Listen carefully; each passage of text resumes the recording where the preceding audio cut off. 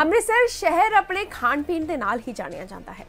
ਇਸ ਸ਼ਹਿਰ ਵਿੱਚ ਮਿਲਣ ਵਾਲੇ ਵੱਖ-ਵੱਖ ਸਵਾਦ ਅਕਸਰ ਹੀ ਸ਼ਹਿਰ ਵਾਸੀਆਂ ਅਤੇ ਸੈਲਾਨੀਆਂ ਨੂੰ ਮੋਹ ਲੈਂਦੇ ਹਨ। ਸਿਆਲ ਦੀ ਗੱਲ ਕਰੀਏ ਤਾਂ ਇਸ ਰੁੱਤ ਵਿੱਚ ਕਈ ਅਜਿਹੇ ਸਵਾਦ ਸਨ ਜੋ ਕਿ ਸਾਨੂੰ ਪੂਰੇ ਸਾਲ ਵਿੱਚ ਨਹੀਂ ਮਿਲਦੇ। ਅੰਮ੍ਰਿਤਸਰ ਦੇ ਹਰ ਜ਼ਾਇਕੇ ਦੀ ਆਪਣੀ ਪਹਿਚਾਣ ਹੈ। ਉੱਥੇ ਹੀ ਅੰਮ੍ਰਿਤਸਰੀ ਖਜੂਰਾਂ ਵੀ ਸਿਆਲ ਦੀ ਰੁੱਤ ਵਿੱਚ ਕਿਸੇ ਨਾਲੋਂ ਘੱਟ ਨਹੀਂ।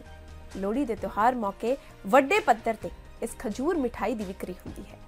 ਮਹਿਜ਼ ਕੁਝ ਮਹੀਨਿਆਂ ਦੇ ਲਈ ਹੀ ਦੁਕਾਨਦਾਰ ਇਸ ਖਾਸ ਮਿਠਾਈ ਨੂੰ ਤਿਆਰ ਕਰਦੇ ਹਨ। ਅਤੇ ਜੇ ਵਿਕਰੀ ਦੀ ਗੱਲ ਕਰੀਏ, ਤਾਂ ਲੰਬੀਆਂ ਲੰਬੀਆਂ ਕਤਾਰਾਂ ਵਿੱਚ ਲੱਗ ਕੇ ਲੋਕ ਇਸ ਖਾਸ ਮਠਿਆਈ ਦਾ ਸਵਾਦ ਲੈਣ ਲਈ ਉਤਸ਼ਾਹਿਤ ਰਹਿੰਦੇ ਹਨ। ਇਹ ਤਸਵੀਰਾਂ ਨੇ ਅੰਮ੍ਰਿਤਸਰ ਦੇ ਗੁਰੂ ਬਾਜ਼ਾਰ ਦੀਆਂ, ਜਿੱਥੇ ਮਨੋਹਰ ਸਵੀਟਸ ਦੁਕਾਨ ਦੀ ਖਜ਼ੂਰਾਂ ਦੇ ਚਰਚੇ ਦੇਸ਼ ਭਰ ਵਿੱਚ ਫੈਲੇ ਹੋਏ ਹਨ। ਪਰਿਵਾਰ ਦੀ ਤੀਜੀ ਪੀੜ੍ਹੀ ਨੇ ਹੁਣ ਵੀ ਆਪਣੇ ਬਜ਼ੁਰਗਾਂ ਦੇ ਰੋਜ਼ਗਾਰ ਨੂੰ ਸਾਂਭਿਆ ਹੋਇਆ ਹੈ ਅਤੇ ਲੋਕਾਂ ਨੂੰ ਉਹੀ 80 ਸਾਲ ਪੁਰਾਣਾ ਸਵਾਦ ਪੇਸ਼ ਕੀਤਾ ਜਾ ਰਿਹਾ ਹੈ।